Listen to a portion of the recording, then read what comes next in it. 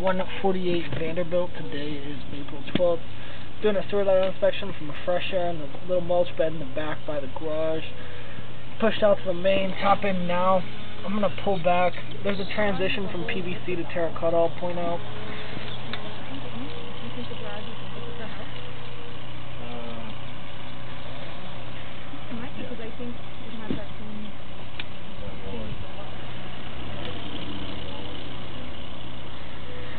Transitions here, PVC to terracotta. Uh.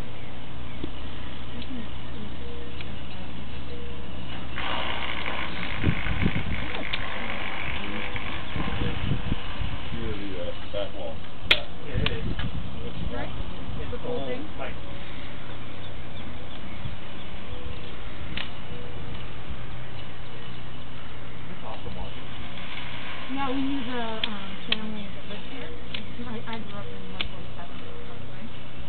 And he just,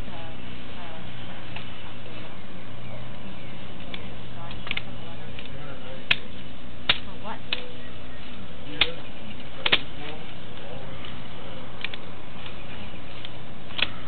That's awesome. It's extremely hard to find. And then I know, this it's T section from the inlet of the house for me. How much?